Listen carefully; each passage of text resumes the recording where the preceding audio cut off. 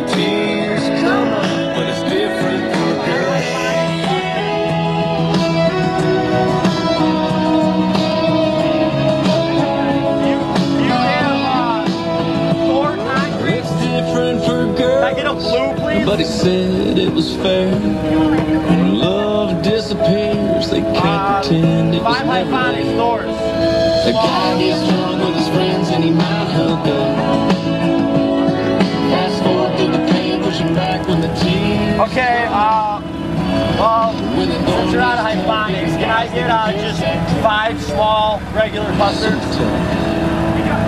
Yes, please.